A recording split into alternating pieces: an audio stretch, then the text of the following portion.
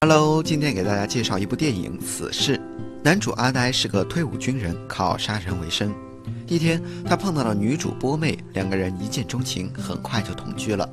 但不久，阿呆就发现自己得了癌症，不知道哪天就会死。舍不得波妹的阿呆只好找到了变态医生，让他将自己变成了一个拥有超能力的人，这样他就不用害怕癌症了。阿呆虽然不用死了，但是他的脸却变成了一副怪人的模样，十分丑陋。阿呆本来想去找波妹，但是因为自己的脸十分自卑，于是他决定先找到变态医生，让他把自己的脸变回原来的模样。在寻找医生的路上，他不断的杀人，还给自己取了一个名字叫死侍，并且做了一套红色的衣服，每天穿在身上。另一边，曾经差点被阿呆杀死的变态医生也想找到阿呆报仇，于是抓住了波妹来要挟阿呆，但最终阿呆还是打败了变态医生。